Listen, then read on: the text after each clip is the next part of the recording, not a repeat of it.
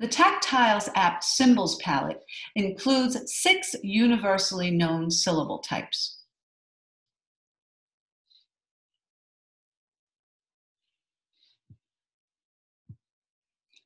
When these syllable types are explicitly taught, a student can identify them.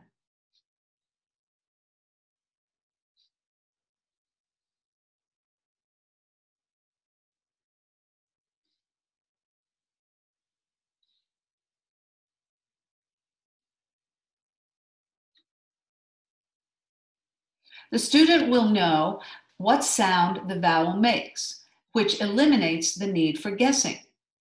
Being able to divide a word into syllables will allow students to decipher unknown words. They will become better spellers and readers.